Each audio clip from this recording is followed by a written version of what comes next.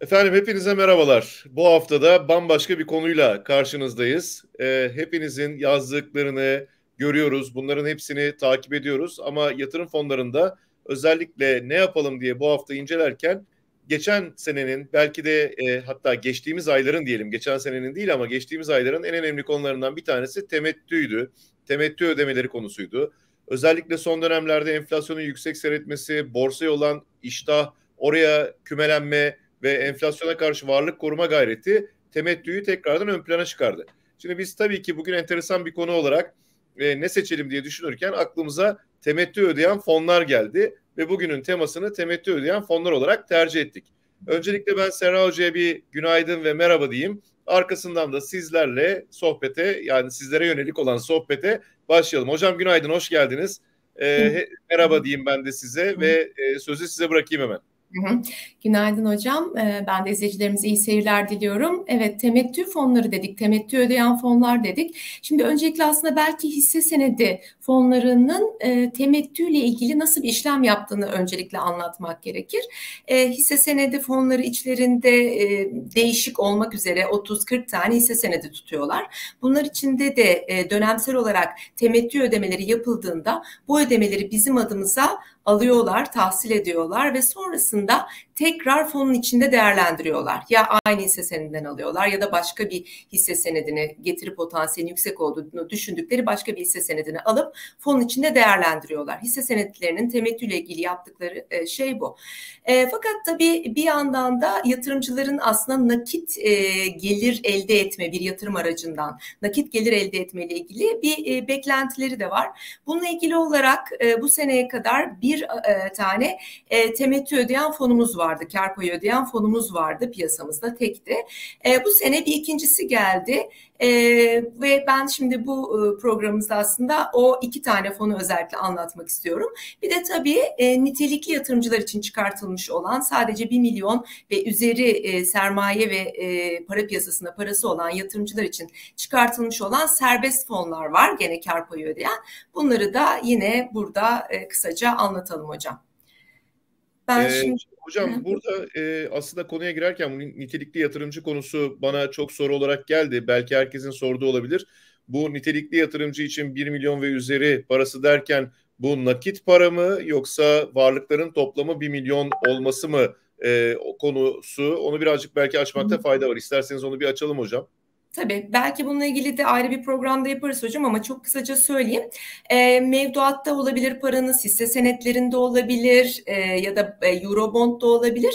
E, ama bir şekilde hani e, menkul kıymetlerde olması gerekiyor. Gayrimenkul bunun içine dahil değil. Menkul kıymetlerdeki e, bankalarda ve aracı kurumlardaki tutarınızın 1 milyon olduğunu e, şubenize beyan ederek bir nitelikli e, yatırımcı beyanı ile e, kendinizi Merkezi Kayıt Kuruluşu'nda nitelikli yatırımcı olarak olarak tanımlatıyorsunuz. Bundan sonrasında serbest fonları satın alabiliyorsunuz. Tamamdır hocam. Bunu da evet. e, iyi iyi bir şekilde izah etmiş olduk. Çünkü bu çok sorulan bir konuydu. E, dilerseniz zaman kaybetmeden bu temettü ödeyen fonlara girelim. E, çünkü çok keyifli bir konu. Ben temettüyü ve hisse senetlerini çok seven bir kişi olarak ilgiyle izleyeceğim sizin anlatacaklarınızı. E, bakalım evet. neler var. Evet, öncelikle bir e, nitelikli e, olmayan e, küçük birikim sahiplerinin de küçük yatırımcıların da alabildiği iki tane yatırım fonu olduğunu söylemiştim. İlki e, GSP kodlu Azimut'un e, kar payı ödeyen hisse senedi fonu. İkincisi de bu sene e, çıkartılmış olan e, Ataportföy'ün kar payı ödeyen hisse senedi fonu. Onun kodu da AYA. E, bir de serbest fonlar olduğunu söylemiştim. Bunlardan ilki Atlas Portföy'e ait. Türk lirası bazlı bir serbest fon e, ZVB kodu. Bu fon e, yoğunluklu olarak içerisinde hisse senedi ve bir miktarda finansman bonusu tutuyor. E, e, dün itibariyle yani varlık dağılımına baktığımız zaman bunu görüyoruz. İki tane e, serbest fonu döviz cinsinden deniz portföy çıkarttı. Bunlar çok yeni fonlar. E, şimdi döviz cinsinden deyince de içlerine daha ziyade Eurobond alıyorlar ve Eurobond'un ödediği kupon ödemelerini de yine yatırımcılarına hani bir e, şey e, temettü benzeri diyelim e, kupon ödemesi olarak yatırıyorlar nakit olarak.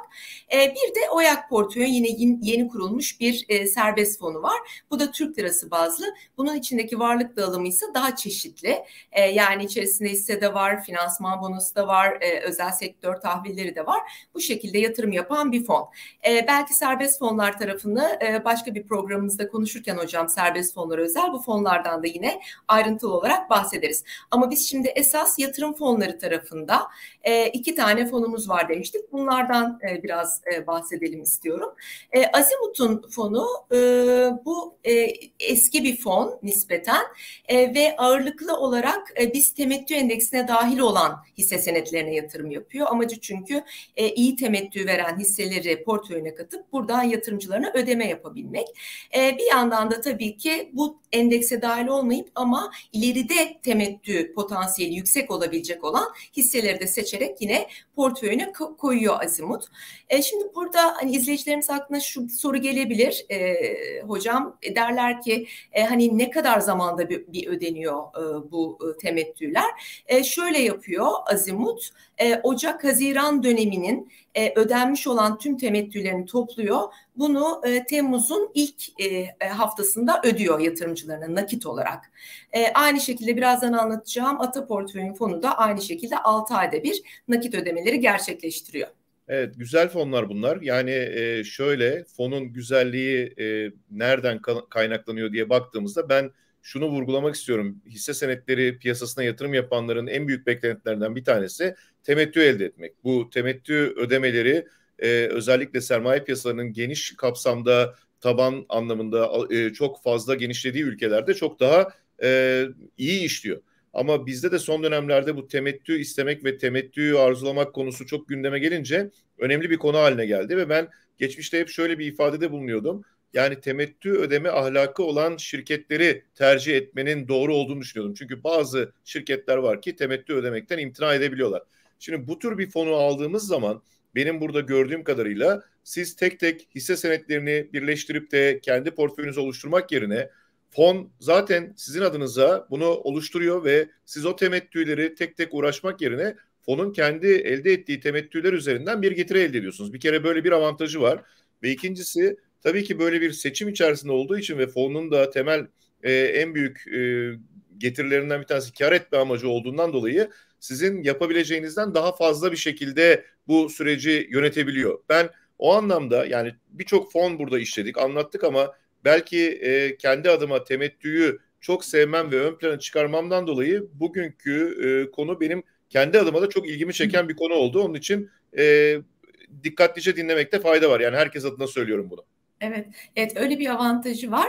Ee, aslında hisse senedi fonunu hani kar payı ödemese bile elimizde tuttuğumuzda biz hani o kar payları için nakde çevirip bir kısmını satıp hani nakde ihtiyacımız olduğunda kendi kendimize temettüyü de alabiliriz ama dediğiniz gibi yani e, özellikle temettüye odaklanan yatırımcılar için e, piyasada hani bunları kovalamaktansa e, bu tür fonlara yatırım yapmak e, çok daha e, mantıklı gibi gözüküyor. Bir de tabii portföy yönetim şirketleri e, işte şirketlerin e, bu yatırımcı toplantılarına katılıyorlar. Orada stratejilerini öğreniyorlar, yatırım planlarını öğreniyorlar. Aslında bizden çok daha önce bilgi sahibi oluyorlar. Dolayısıyla temettüyle ilgili potansiyellerini de önceden görebilirler. E, o nedenle de ben hani bu anlamda yatırımcılara katkı sağlayacağını düşünüyorum.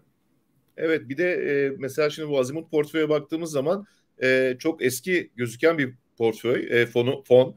Dolayısıyla bunun performansını da kontrol edebilmek kolay. O nedenle hani eski fonları da buraya almak yeni fonlarla karşılaştırma anlamında e, belki buna aşina olan yatırımcılarımız vardır ama en azından getiri performansı anlamında uzun yılları takip edebilmek açısından da önemli. E, yönetim ücreti konusunu ayrı bir belki videoda gene e, işleyeceğiz. Çok soru geliyor buna ilişkin olarak da yönetim ücreti en düşük olan fonlar hangileridir diye. E, burada da yönetim ücretinin %2.7 olarak gerçekleştiğini görüyorum. E, bir de risk değerini gördüm. 5 e, değerinde. E, göreceli olarak bizim şu ana kadar işlemiş olduğumuz fonlar içerisinde birden 7'ye doğru skalaya baktığımızda çoğunlukla 6 ve 7 grubundaki fonları işlemiştik. Bu biraz daha onlara göre riski daha düşük ama gene de risk değeri ortanın üzerinde olan bir fondan bahsettiğimizi de tekrardan hatırlatalım yatırımcılara. Evet. E, halka arzı 2015'te yani 7 yıl olmuş bu fon kurulalı. E, 976 milyon liralık bir büyüklüğe ulaşmış ve 2268 yatırımcı şu anda portföyün içerisinde yer alıyor. Sizin de dediğiniz gibi. Burada önemli bir husus hocam e, vergi avantajı. E, hisse senedi fonlarında olduğu gibi kar payı ödeyen hisse senedi fonlarında da e, elde ettiğiniz kazanç üzerinden vergi ödemiyorsunuz. Stopaj sıfır. Evet, evet o da önemli Burada bir avantaj olarak gözüküyor. Evet söyleyelim. E, şimdi e, Azimut'un e, hangi hisse senetlerini tuttuğunu merak ederseniz eğer içlerinde e, portföy yönetim şirketleri e, her ayın ilk haftasında bir önceki ay hangi e, hisseleri tuttuklarını KAP'ta portföy dağılım raporlarında açıklıyorlar. E, şimdi Mayıs ayında ne tuttuğu önümüzdeki hafta gelecek ona bakabileceğiz. Ama bizim şu anda görebildiğimiz Nisan ayı. Nisan ayında portföyünde tuttuğu ilk 5 hisseye yani ağırlıklı olarak en çok hangilerini tuttuğuna baktığımız zaman ilk sırada Kardemir'in olduğunu görüyoruz. Sonra Tüpraş, Kortsa, Bimaş ve Koç Holding'e e, yatırım yapmış %9 ile 5 arasında, %10 ile 5 arasında diyelim e, ağırlıklarda. E, Azimut'un evet. e, e portföyünde bu hisse senetleri. Hı hı. Evet, diğer diğer fonumuz hocam. Diğer o da yeni bir fondu galiba. Evet aslında şöyle Ata Portföy'ün e, AYA kodlu fonu e, çok eski bir fon. E, bu evet, bir hisse senedi fonuydu. Bu sene Ata Portföy bu fonu e, şimdi e, bizim de programlarımız hocam yaklaşık bir yıldır, bir buçuk yıldır hep YouTube'daki programlarımızda yorumlar kısmına kar payı ödeyen fon kurulsa, temettü ödeyen fon kurulsa diye o kadar çok yorum geldi ki zannediyorum Ata Portföy de bu tür kendisine de gelmiştir muhakkak. Taleplere dayanamadı. Mehmet Bey'i biz programımızda e, konuk etmiştik. E, temettü ödeyen fonlarını Aya'yı anlatmıştı bize. İzleyicilerimiz isterlerse onun linkini de koyarız açıklamayı izleyebilirler. E, burada çok detaylı anlatıyor fonlarını e, ve e, yatırımcıların bu e, taleplerini aslında e, biraz haklı buluyor. Çünkü bu bir yatırımcı psikolojisi yani e, kişiler, e, yatırımcılar bir e, şey istiyorlar, nakit akışı istiyorlar yatırımlarından. Bu nedenle kendi hisse senedi fonlarını, AYA fonlarını temettü ödeyen hisse senedi fonuna çevirdiler. E, 11 Nisan tarihinde, 11 Nisan 2022'de ve onlar da gene biz temettü endeksini kendilerine benchmark olarak alıyorlar. Son 5 yılda yüksek temettü sağlamış şirketlere yüksek temettü verimi sağlamış şirketlere yatırım yapıyorlar ve önümüzdeki dönemde de potansiyel olanlara tabii ki yatırımlarını yönlendiriyorlar e, AYA kodlu fonla. E, evet yani az önce demek ki söylediğimi teyit eden bir gelişme de olmuş oldu. Son dönemlerde bu hem e, finansal okuryazarlık arttıkça hem yatırımcıların talebi e, farklılaştıkça temettü ödemek durumunda kalabiliyor şirketler ve e, bu da zorluyor. Yatırımcı bunu zorluyor. Tabii ki ne kadar yatırımcı zorlarsa şirketlerin temettü ödeme süreçleri de daha da hızlanacak ve daha iyi seviyeye gelecek. E, bundan anladığım kadarıyla e, portföy e, anlamında e, Ata Portföy de e, özellikle e, bu hisse senedi fonunu böyle çevirerek nasibini almış yatırımcı talebiyle beraber bir değişikliğe gitmiş gözüküyor. Çok da iyi yapmış. Dolayısıyla e, aslında iyi bir fonu da e, bizlere kazandırmış olmuş son dönemdeki evet. yapmış olduğu hamleyle. Evet, onun da vergi stopajının sıfır olduğunu söyleyelim. Risk değerinin altı olduğunu söyleyelim. Yani yüksek riskli bir fon olduğunu söyleyelim. Ee, şu anda da içerisinde yatırımcı sayısı olarak 1251 kişi var. Portföyünde Nisan ayında ağırlıklı olarak Ereğli, Bimaş, Türksel, Sabancı Holding ve Akbank tutmuş. İkisinin ortak en yüksek tuttukları arasında Bimaş'ı e, görüyoruz. E, yani bu şekilde e, fonlarımızla ilgili e, temel bilgileri verebiliriz hocam. E, ben bir de tabii getirilerle ilgili bir şey söylemek istiyorum aslında. Hemen buradan e, bizim e, iyi gelirin fon platformuna geçeceğim. E, şöyle bir e, ekranımı paylaşayım. Ee, burada şöyle bir husus var. Yatırımcılarımızın dikkat etmesi gereken bir husus. Özellikle onu vurgulamak istiyorum. Bunu biz e, aslında Mehmet Bey'le de konuştuk. Şu anda galiba görüyorsunuz değil mi hocam? Evet evet geldi. Evet. İlgelerin e, fon platformunda e, fon detay sayfasında arama kısmına eğer e, bir fonun kodunu yazarsanız veyahut da isminde geçen bir kelimeyi fonumuz çıkar. Ben de buraya Azimut Portföy'ün GSP kodlu e, fonunu yazmıştım. E, şu anda GSP'nin ben fon detay sayfasındayım. Bir e, fonla ilgili rapor görüyorum getiriler ve riskler anlamında. E, burada hocam bu kar payı ödeme ile ilgili şöyle bir durum var. Aynen hisse senedinde olduğu gibi hisse senetlerini kar, e, hisse senetleri kar payı ödediği zaman biliyorsunuz ertesi gün fiyatı ödediği kar payı kadar düşüyor. Aynı evet. şey fonlarda da geçerli. E, fonlarda da aynı şekilde fiyat düşüyor. Fakat SPK geriye dönük fiyat düzeltmesi yaptırtmıyor. Dolayısıyla aslında sanki fon bir getiri kaybına uğramış gibi görünüyor.